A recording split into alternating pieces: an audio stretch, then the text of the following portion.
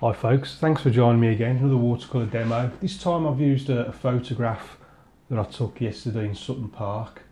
Um, so we've got our little path there sweeping its way through, around these bushes, little figure there, framed by this big tree, bit of water there, a few reflections. So let me show you the photograph I've used for this. So I quite like this composition. There's our little path going right the way into the distance. You can just about see the water in the distance then. It's framed by this big tree on the left and these little bushes on the right. So let me show you the colours I've used. So we've got ultramarine, lemon yellow, Payne's grey, didn't use the alizarin crimson, raw sienna, burnt umber, light red. So the six colours and then just a couple of brushes. Got large on Rance&Ake and a number three rigger quick book plug this is volume 3 of watercolour painting made simple. I have got volume 4 in my possession now so I just got to proofread it and get it set up on Amazon. But for now this remains the most recent book I've done. Lots of step-by-step -step photographs to guide you through each painting. Each chapter's got its own painting so that's available on Amazon. So let's first give the paper a bit of water. Right then Let's go raw sienna, bit of lemon yellow.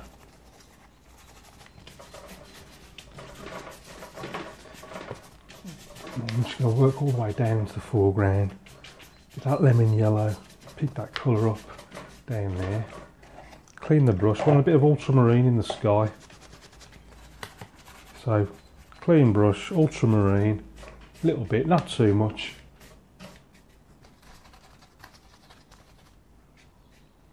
I've just caught some of the green in. I don't know worry too much about that. Right then. Let's just take out a few little clouds. If I can, actually, no, let's use a brush. I was going to use a tissue, but I'm going to use a brush, I think.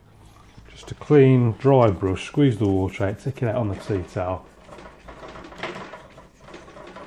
And then these will be the clouds that are just above the tree line, help the tree line stand out and also stop all the paint from dripping down the paper. So it's sort of two, twofold benefit. So I'm going to into the same colours, a bit of raw sienna, a bit of lemon yellow, bit of ultramarine.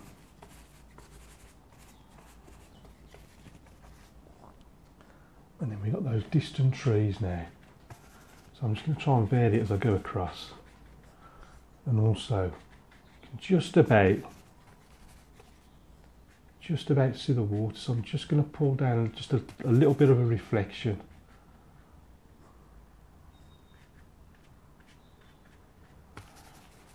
I'm just trying to vary those greens as I go across as well.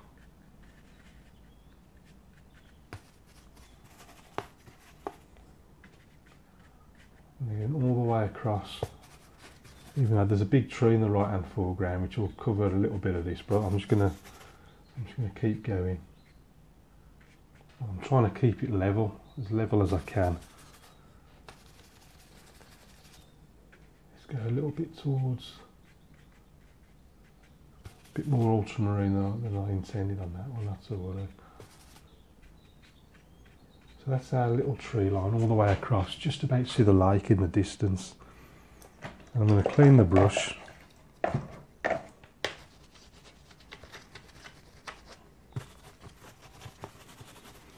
Start off with a bit of, raw sienna and burnt umber. And sort of just, just cutting across now.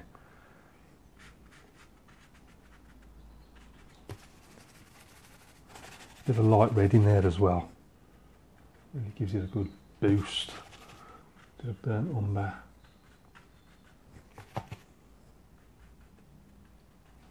Well, let's clean the brush. I want to go back to some greens. I can see lots of grass there in the distance looking at that photograph. So into the raw sienna lemon yellow. It's just like that a little bit. Let's just go down there. There's going to be some trees on the left hand side so I'm not going to worry anymore about that part of it.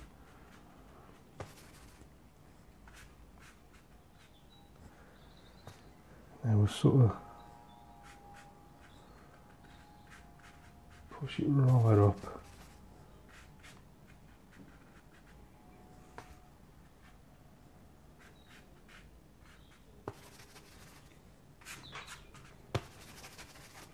is just pull these down pretty quick.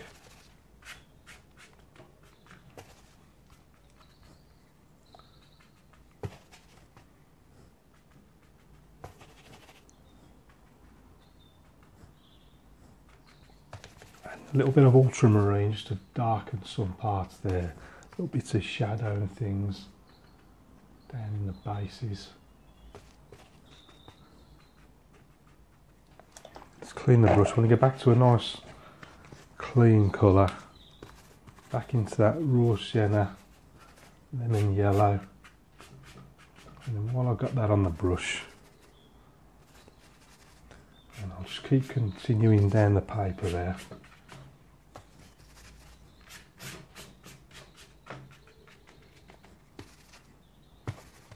A little bit of burnt umber down there, Just working it up to the edge of this path, which I'll put in a sec.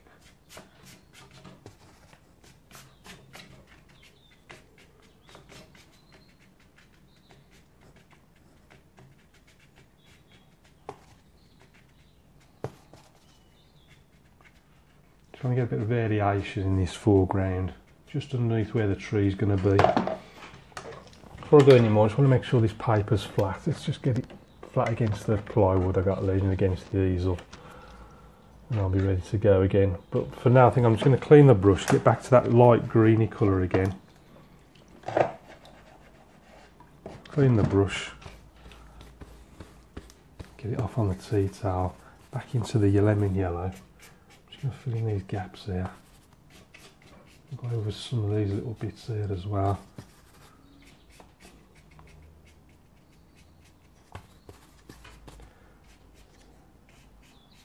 I'll make these a little bit smaller because they're a bit further away. I did them a little bit too big.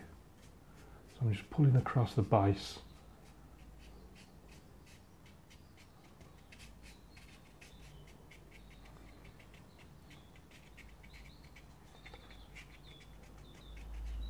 Then just dab, dab, dab, just for a little bit of texture in the ground. Right, let's put this path in. Um, I'm just going to go a bit of brown, a bit of red, bit of blue on there as well, I think. And then I'm just going to get the path and just sweep it very, very quickly.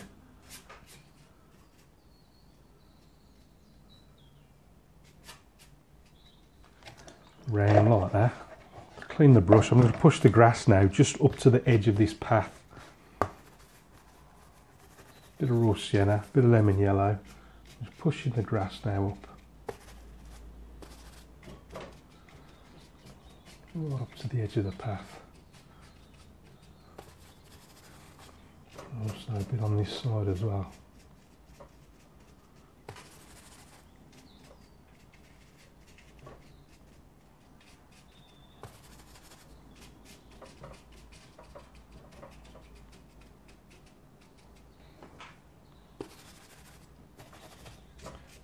Brambles and things down on the bases, just below these trees. Let's put the base in first. Um,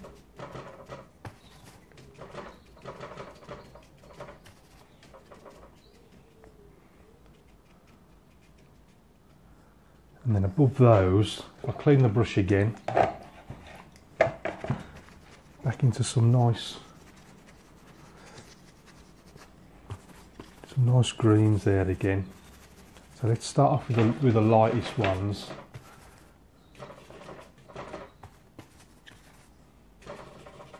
She above there like that. Then a bit of ultramarine to vary it slightly.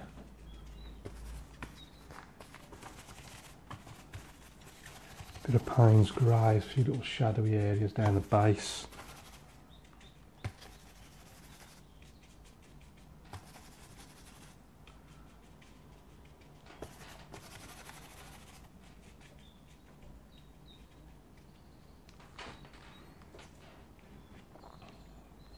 Little bit of fingernail work, just a few light coloured twigs and things coming up there. Switch to the rigger brush now.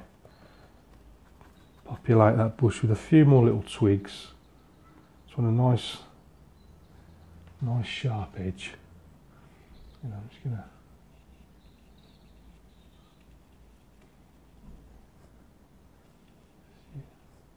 just flicking up, just little things and branches and twigs growing. Just very light touch.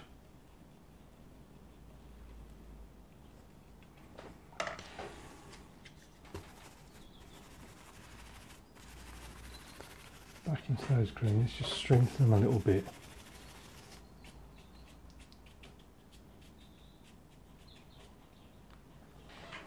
Right, I think I'll leave it at that for now. Actually,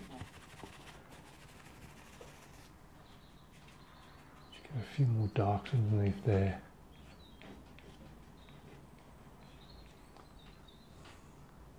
Right, stop fiddling me that bit now.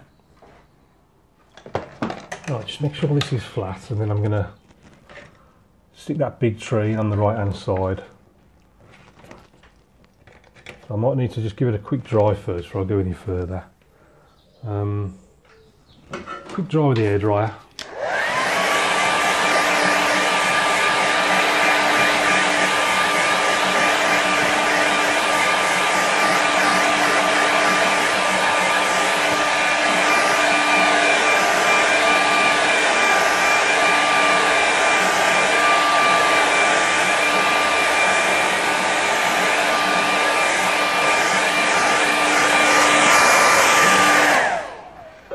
Right, now let's do this tree. So I could either use a rigger. I might actually yes use the rigger.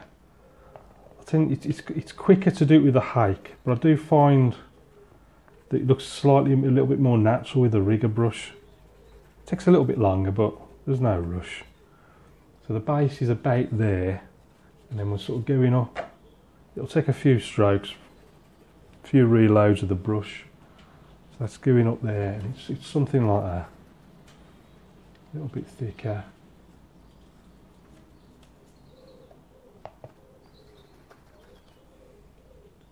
There's another branch going going off in that direction.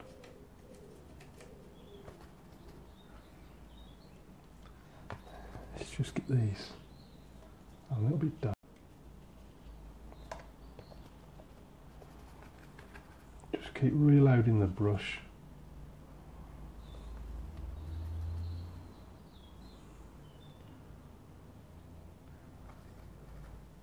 And I'm gonna just pop the main trunks in first, right? And then what I'll do is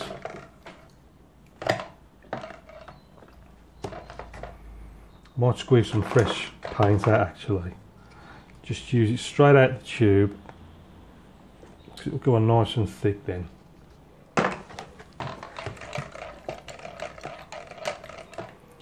Let's just clean the brush, squeeze the water out with your thumb and forefinger straight into the jar, scuff it up on the tea towel.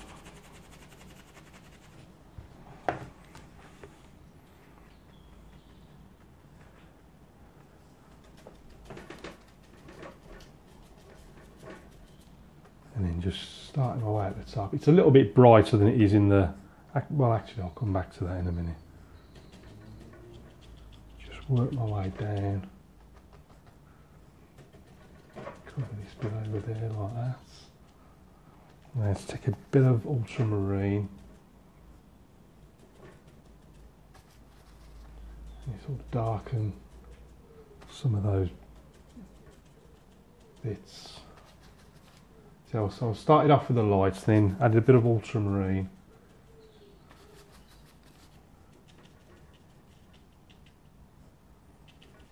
Just bring that down somewhere, something like that. There's also a little bit of few green patches down there.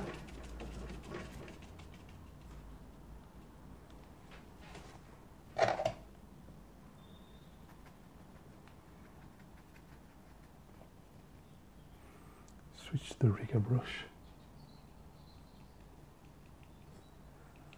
And flick those up there like that.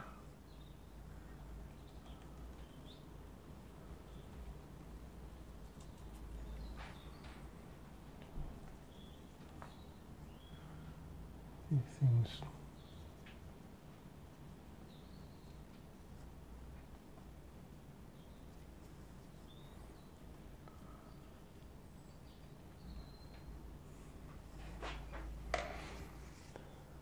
Right then, what I think I need, they're not, you can't actually see them in the, in the photo. Actually, have quick dry first.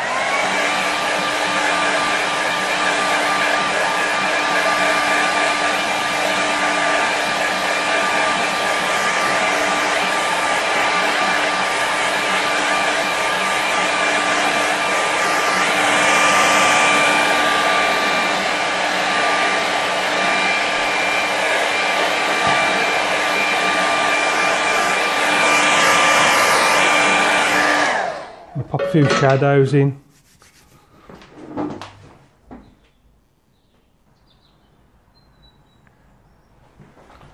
So let's make a shadowy colour. So I'm going to clean the brush.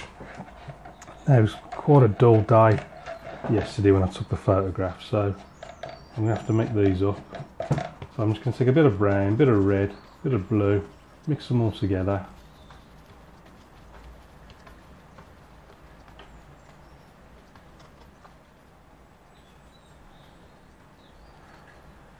Sort of bluey grey type of colour.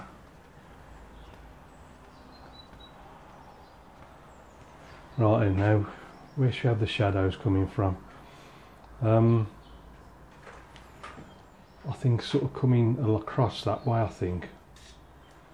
So, if we first have a few shadows up here now sort of working their way across there. So going straight across the path there as well. For some reason, this tree's going to need a shadow there. A few shadows amongst these.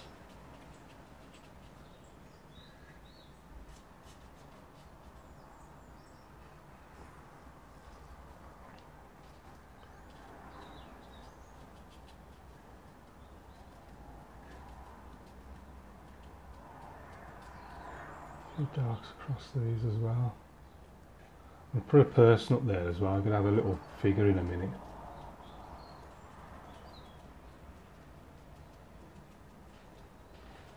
Right then, is that enough shadow I think for now?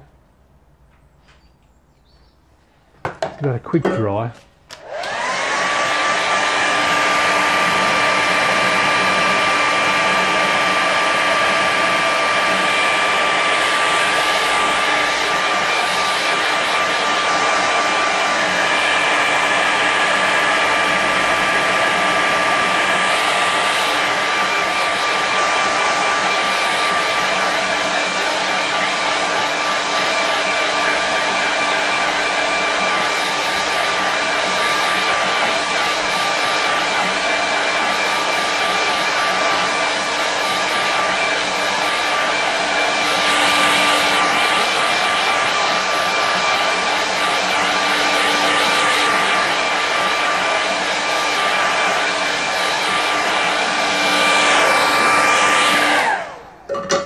Want to add a few more darks, I think.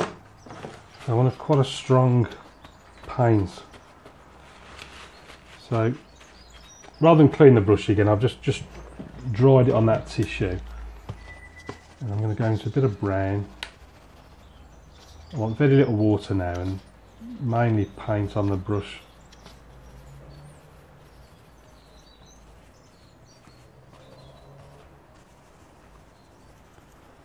Uh, It's just do cry there as well.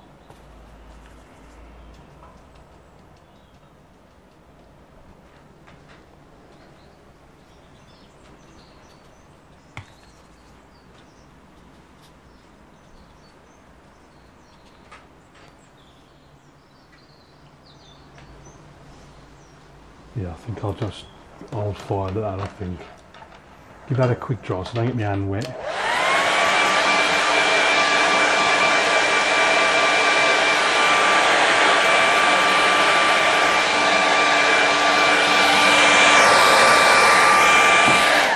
I want a little figure up here, so I'm going to switch to the rigger brush.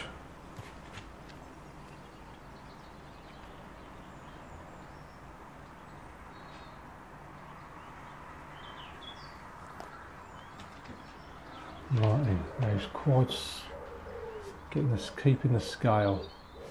Hmm. I'm wondering if this brush is going to be too big, but actually no, let's make it a little bit bigger. Path sort of goes off.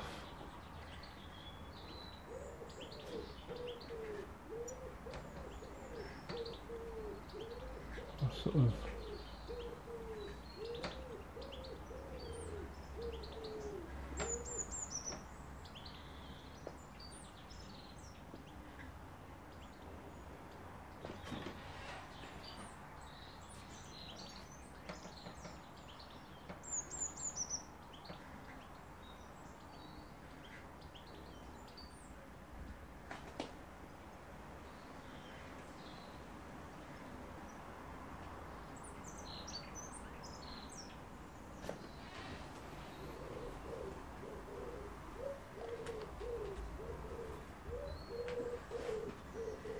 put little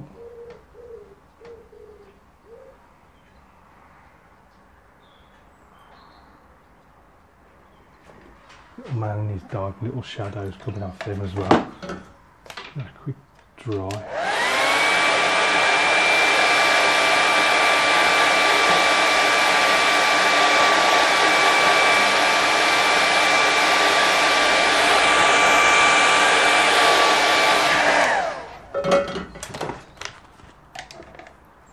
Do just a little bit more.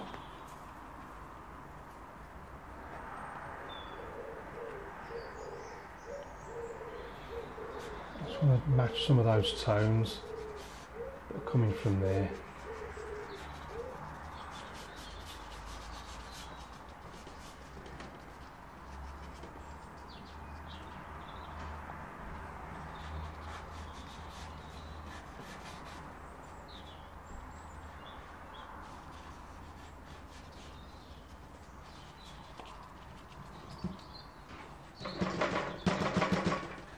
So I didn't want these tones just to stand out. I wanted just to try and match them somewhere, just so that it blended in a little bit better. If, if I'm explaining that very well. I think I'll. I think I'll call that one finished now before I mess about it anymore. So all I'm going to do now is just pop my name down. Put my name in the corner call that one finished I think. So let's just stick a mount on it and see what it looks like. So here's our finished painting the mount. If we have a, a, a compare it to the photograph, see how, see how it looks. You see the composition, I've kept the composition pretty similar. The only real thing that I've tried to change too much is try and get a bit more light in it. So I've just cast a few shadows coming across there from sort of left to right diagonally. I started off with a very simple sky, simple ultramarine up there, and then took a few clouds out to see where the tissue work was. Just to start, no, tell a lie, I used the, the brush, didn't I, to do that. Um, so it also doubles as clouds, stops the paint from coming down, and also helps the profile of the distant horizon trees to stand out better. Pulled the reflection down at the same time, tried to vary it, got lemon yellow, ultramarine, bit of raw sienna in there as well as I work my way across where they disappear behind the tree. Then we got some light land just cutting across there, moving into a bit of sort of light red and burnt umber there, that sort of sort of brackeny type of stuff there. A few little shadows dotted about as we come down right towards into the foreground area. Got the big tree, I put in with the rigger brush, a couple of layers just to get it on nice and dark. That goes all the way up to the neat paint straight out the tube. That was the lemon yellow, the light bit. Then added a bit of ultramarine just to get a bit of variation in the leaves. Just use the dry out brush to, to uh, pop those on. Got some simple bushes and things growing up here. Scraped a few little twigs, branches in there, and then got some nice shadows coming straight across this path. The path that sort of sweeps its way round the word in the photograph, the figures were right in the distance, but I've brought them a little bit closer. There, and then down. A few more grasses and things, grasses and, and whatnot growing in the foreground. A few more shadows. A few little dots of light, light red as well, just to give a bit of colour, little bursts of colour throughout the foreground. So I hope you enjoy that. Thanks for watching. Many thanks as always for your support. Best wishes, very much appreciated. So keep practicing. Uh, remember all the books are on Amazon, paintings are on eBay, there's loads more videos. It's about 150 videos over on Patreon if you want to have a look at those. So keep practicing. Any questions please ask and I'll see you again soon.